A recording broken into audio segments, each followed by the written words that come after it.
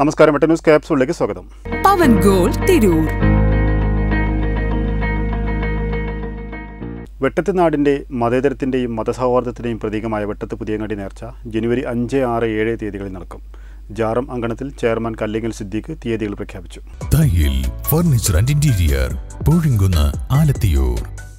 മാന്യര് അസ്സലാമലൈക്കും വെട്ടത്തുനാടിന്റെ മതേതരത്തിന്റെയും മതസൗഹാർദ്ദത്തിന്റെയും പ്രതീകമായ ഒന്നര നൂറ്റാണ്ടിലേറെയായി നടത്തിവരുന്ന വെട്ടത്ത് എന്നൊരു വലിയ നേർച്ച രണ്ടായിരത്തി ഇരുപത്തഞ്ച് ജനുവരി അഞ്ച് ആറ് ഏഴ് ധനു ഇരുപത്തിരണ്ട് ഇരുപത്തിമൂന്ന് ഇരുപത്തിനാല് റജബ് മൂന്ന് നാല് അഞ്ച് ഞായർ തിങ്കൾ ചൊവ്വ എന്നീ തീയതികളിൽ പൂർവാധികം ഭംഗിയോടെ ആഘോഷപൂർവം നടത്തുവാൻ തീരുമാനിച്ച തീരുമാനിച്ചിരിക്കുന്ന വിവരം എല്ലാവരെയും സന്തോഷപൂർവം അറിയിക്കുന്നു.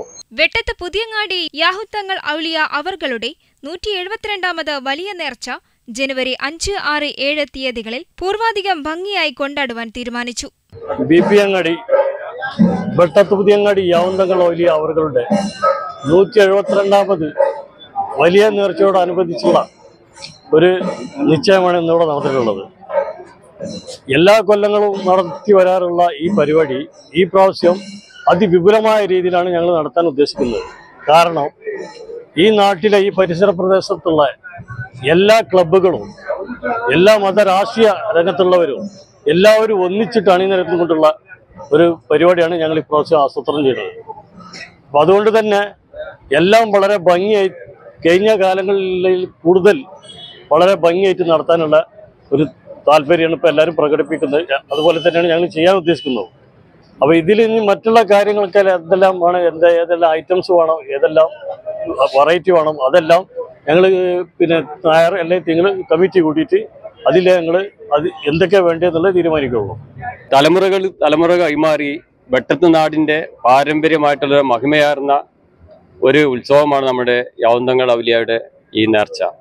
ഇതിനുവേണ്ടി നാട്ടിലെ ജനങ്ങളെല്ലാവരും ഒറ്റക്കെട്ടായി നിന്നുകൊണ്ട് ഒരു വലിയ കമ്മിറ്റി രൂപീകരിക്കുകയും അതിന് നടത്തിപ്പിന് വേണ്ടി നമ്മുടെ ചെറുപ്പക്കാരെല്ലാവരും കഠിനാധ്വാനം ചെയ്യുകയുമാണ്. നല്ലവരായിട്ടുള്ള നാട്ടുകാർ എല്ലാവരും ഈ നേർച്ചയ്ക്ക് വേണ്ടി എല്ലാ സഹകരണവും പിന്തുണയും ഉണ്ടാകണമെന്ന് ബഹുമാനപ്പെട്ട നേർച്ച കമ്മിറ്റി കൺവീനർ പറഞ്ഞ പോലെ എല്ലാ സഹായ സഹകരണങ്ങളും എല്ലാ ഭാഗത്തുനിന്നും ഉണ്ടാവണമെന്നാണ് പറയാനുള്ളത്.